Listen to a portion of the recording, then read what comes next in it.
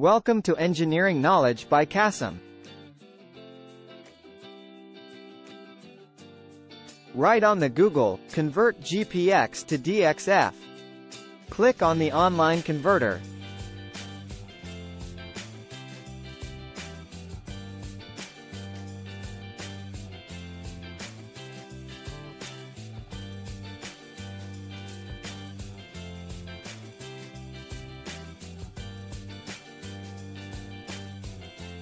Upload GPS or GPX file for the conversion.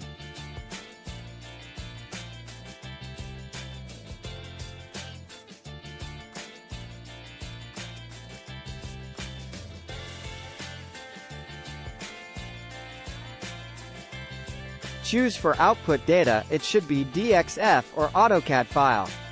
After that click on Convert Now.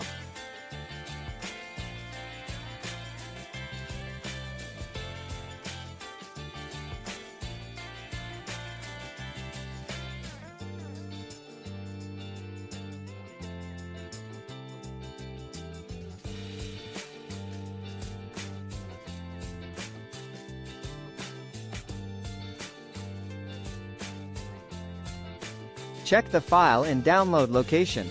There would be three files. You should use all in AutoCAD for better understand.